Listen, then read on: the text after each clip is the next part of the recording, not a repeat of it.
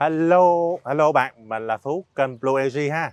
Thì hôm nay là một ngày chủ nhật và mình vừa mới làm xong một chiếc xe cao cấp. Thì chiếc xe này nhìn quá quen thuộc ha bạn ha. Một chiếc Classic. Thì chiếc Classic này nó sẽ khác với những chiếc Classic khác nó như thế nào thì mình chuẩn bị bật mí cho các bạn ha. Nó rất là khác và nó rất là xịn sò. Có nhiều cái option mà những con khác nó không hề có luôn. Bây giờ để vào chi tiết mình mời anh cameraman quay một vòng chiếc xe cho bạn coi ha.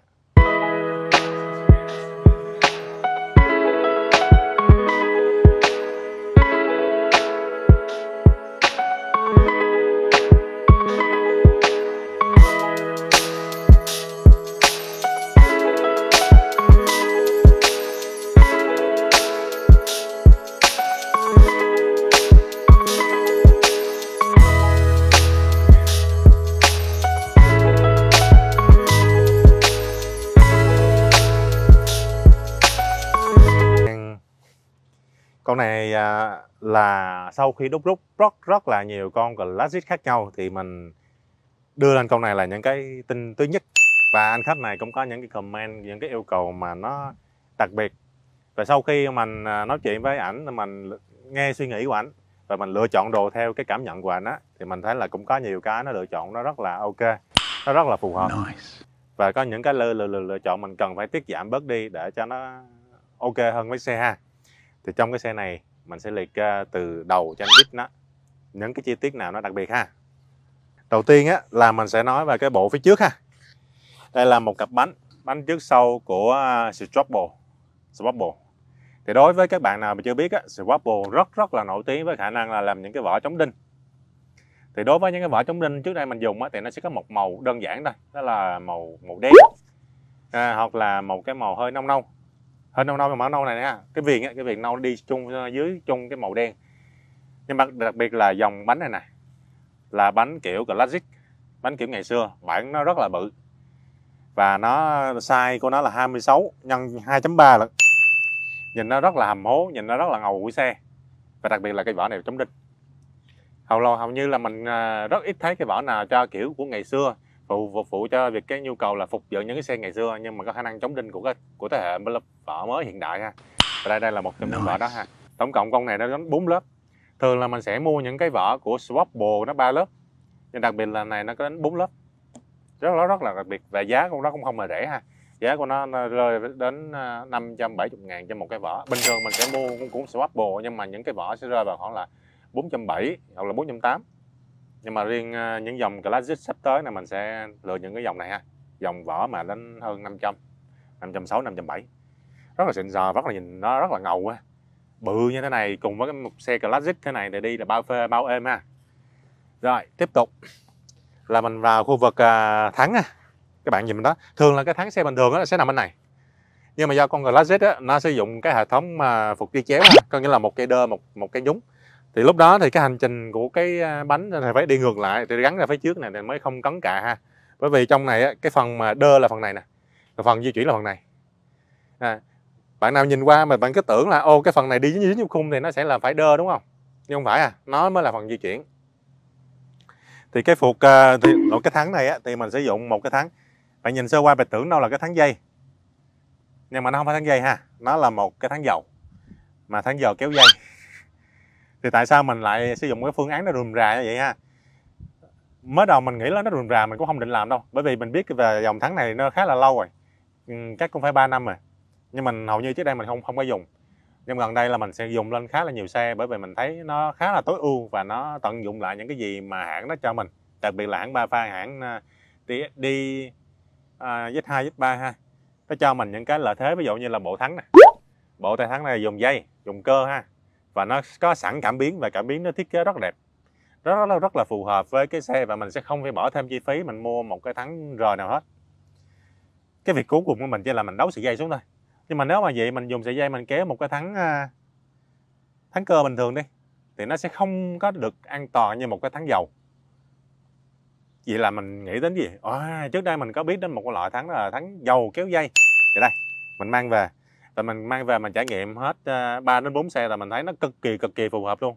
Cái thứ nhất là cái giá thành nó mềm hơn một cái thắng dầu thuần. Ví dụ một cái thắng dầu thuần mà có chất lượng ngang như thế này nó sẽ rơi vào khoảng là 900 mấy đến một triệu mốt 50 ví dụ như là của Đài Loan hay là của Shimano dòng MT200 nhưng mà con này thì nó sẽ rơi vào cái giá khoảng là bảy trăm rưỡi đến tám trăm rưỡi tùy đợt mua với là tùy đợt hàng nữa. Nhưng mà nó, nó cho mình những cái cảm giác cực kỳ cực kỳ tốt. Cảm giác thắng nó rất là ok giống như là những cái con xịn của một triệu mấy vậy và nó còn cho thêm mình tận dụng được cái à, cảm biến thắng của tay thắng ha. Tuyệt vời. Và sau này mình sẽ làm rất rất nhiều những cái con xe mà sử dụng này. Nè bạn cảm bạn nhìn vô cái tay nè. Bạn thấy tốc độ phục hồi tốc độ mà thu hồi của dây nó không khác gì một tháng dầu luôn. Ha. đối với tháng dây á, khi mình nhả ra là nó có cái độ rít rít rít rít. Ha, nhưng cái này thì nó kéo thanh rất là đều. Bởi vì cái lực này của cái tháng dầu phía dưới á, nó rất đều ha. rồi cái phục là điểm à, nhấn thứ hai. Thường là mình sử dụng cái mục à, cái phục một là sa bởi vì trước đây mình cái con classic đầu tiên là mình dùng cái phục hai là sa luôn. À, thì à, mình thấy nó hơi đứng cứng và mình thử luôn con này rồi mình vẫn thấy nó hơi cứng. Nhưng mà khách nói á, là đối với cái xe classic kiểu này nè thì khách sẽ quay trở lại cái cảm giác của ngày xưa của những năm thập niên 70 80 á, những lần đầu tiên có được cái xe đạp xịn xịn á thì thường là đèo đèo bồng người yêu đèo bồng con thì cái nhu cầu mà đèo bồng nó rất là cao. Và khi mà cái trọng lượng tăng lên á là cái phục này nó sẽ sẽ được sử dụng ha. Ví dụ như một mình mình chạy á, thì nó không khác gì cái phục đơ luôn bạn nó cứng lắm cứng khủng khiếp luôn. Ví dụ mình đè nè nó không suy diễn. Nhưng mà khi mà mình mình cùng với là một bạn kỹ thuật đó bạn kỹ thuật ngồi đây nè ngồi thì cái kiểu uh, gái thì cái phục này nó di chuyển. Ồ oh, mình mới nhận ra là đúng rồi những cái nhu cầu này nó đúng thiệt. Bởi vì ngày xưa mình tài chính mình thấp á mình không đủ tiền mình mua những con xe này mình nhìn thấy người ta đi thôi. Và ngày xưa cái xe kiểu này là đến cây vàng lắm. À, đến một cả một cây vàng lắm thì đó. Bây giờ mới được ờ, uh, sợ tay vào những con xe kiểu gọi là Lazic hoài cổ như thế này. Mình phải trở về những cái kỷ niệm ngày xưa đèo bồng người yêu đồ. Đối với những mà những anh mà cỡ lớn lớn hơn mình hoặc từ mình trở lên nè rất rất muốn cảm giác quay lại cái thời đó. Và lúc đó cái phục này nó sẽ có tác dụng rồi đi kèm với một cái phục uh, à, classic hoài cổ thì mình sẽ có một cái đèn cực kỳ hiện đại. Cái đèn này là đèn 6V nè đèn 6V của uh, ba phan luôn. Và nó sẽ sử dụng chức năng của cái tay điều khiển này để tắt mở đèn ha. Mình chỉ cần dùng giữ nút cộng này là nó sẽ tắt cái đèn hoặc là mở cái đèn lên ha. Rồi đi chung với cái khả năng à, gắn cái đèn này á, là một cái bát để gắn dè. Thì đây là một cái dè mũ chống biến dạng ha. Đây cái dè này là một cái hợp chất mũ đặc biệt nó không giống như giống như giống nhựa nhựa hoàn toàn mà nó là một cái hợp chất gần gần giống nhựa thôi. Khi mà mình bóp á mình bóp miễn là không có để lại dấu lằn thì nó sẽ phục hồi lại như cũ liền. Nó không giống như một số loại dè bằng nhôm bằng đồ trên thị trường nha. Bằng nhôm bằng đồ chỉ cần mớp một cái là nó đi theo đúng cái đường mớp luôn. Còn loại này thì có đá có bay vào nhả ra là nó như bình thường à. Rồi lên một tí nữa thì mình sẽ có một cái uh, bô tăng và tay lái kiểu của ngày xưa ra kiểu nó rất là mình cũng không không không biết phải gọi tên nó là sao. Nó giống giống như cánh chim. Nhưng mà cánh chim thì nó có cái độ lài đi ra sâu khá là nhiều. Cậu này nó nó lài ra hai bên mà khá là xa và cái tay nó khá là cong được một đường cong đều luôn một đường mít khá là đẹp. Rồi nó cong nhẹ nhẹ chỗ này nó nhìn nó nhìn từ trên xuống này nè nó nó hoành tráng ha vậy nó hoành hoành tráng. Mình mình nghĩ là lúc mà hoành tráng kiểu này thì khi mà lái chắc mỏi lắm. Nhưng khi mình lên ngồi lên mình ngồi ù nó đã cảm giác nó không có mỏi bởi vì cái form người của mình á bạn nhìn ha. Nếu ví dụ như mình ngồi thay vì mình đang đứng như đây mình ngồi lên chính yên đó cái form mình vẫn rất là thẳng. Ha mình không bị bị bị chú chuối kiểu như là cái tay dài dài của MTB dài dài ra nó bị chuối nó bị mỏi ha. Con này vẫn giữ được mình cái form rất là thẳng người mà tay nó lại rộng ra nữa nhìn nó ngầu giống như kiểu mình đi hạt lây á. Phê lắm. Và cái form này ờ, gần gần giống hạt lây thiệt. Rồi mình đi ra cái phần à, nhân vật chính của cái xe ha nên mặt chính của xe là một cái khung classic. Rất là ngày xưa luôn. Và khung classic này hiện tại à, Blue Energy phải nhập từ nước ngoài về và phải đặt hàng ha. Đặt hàng một cái đơn vị nó nó nó làm rồi à, nó hẹn một ngày rồi mình mới được lấy hàng. Nó không giống như những cái khung bây giờ ha. Đại trà rồi mình đặt nhà sản xuất bao nhiêu bao nhiêu cái là mình sẽ có ha. Còn đối với những cái khung này á, mình phải đặt hàng mình còn phải năn nỉ nó làm cho mình đó. bởi vì cái cái nhu cầu của này càng lúc càng tăng trở về cái thời ngày xưa hồi cổ á, càng lúc càng tăng. Mà cái xưởng nó giống như xưởng à, làm thủ công á chỉ có vài người vậy nên cái tốc độ mà giao hàng một tháng của nó chỉ được có đâu đó gần trăm cái khung mà. Thành ra việc mà 100 cái khung mà giao đi cho cả thế giới này thì muối ba biển. Nên thành ra việc mà lựa được những cái khung này mang về nó nó nó rất, rất là kỳ công.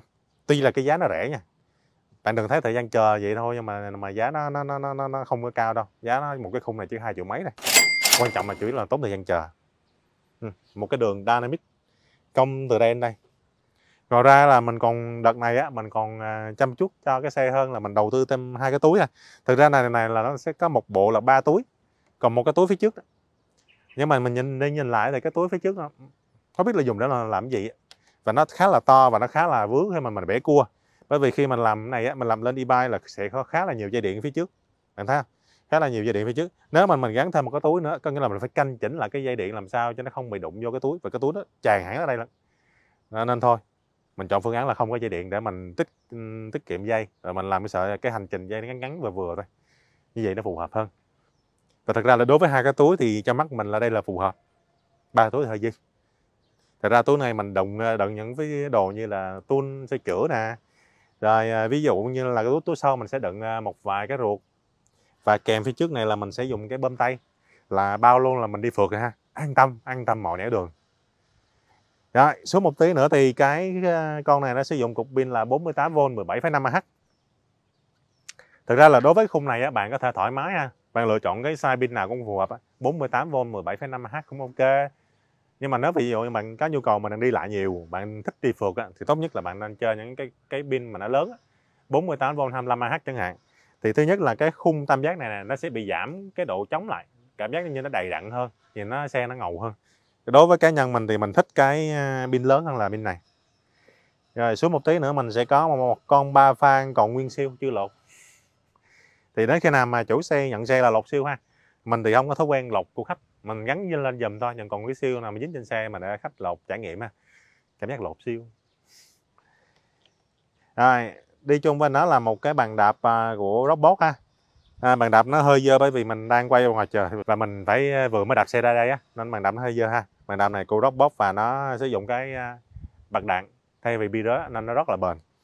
Và giá nó cũng, cũng khá là hữu nghị nữa. Mình và cái màu nó hầu như mix xe nào cũng được á mít xe cũ cũ cũng được mà mít xe đời mới nhìn nó cũng vẫn ờ, ra được uh, khá là dễ dùng.